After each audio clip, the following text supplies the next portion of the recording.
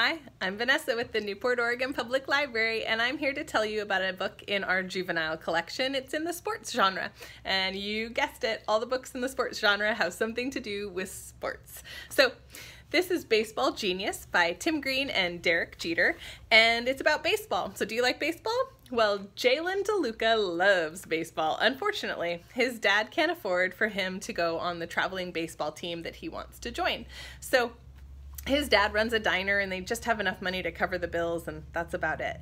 So Jalen decides he's going to take matters into his own hands and he sneaks into New York Yankees baseball stars private batting cage and steals a couple of baseballs.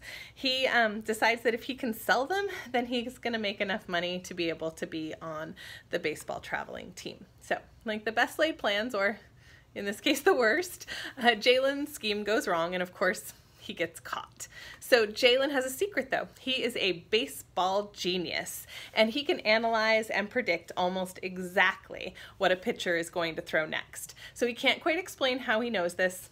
He just knows. So he proves this watching a televised game with the Yankee baseball star pitch after pitch, he gets accurate and correct, and the two agree to a deal. Jalen will help the baseball player get out of his batting slump, and in exchange, he won't press charges on Jalen. So, can Jalen save his friend's career? Will he get to participate in the traveling team?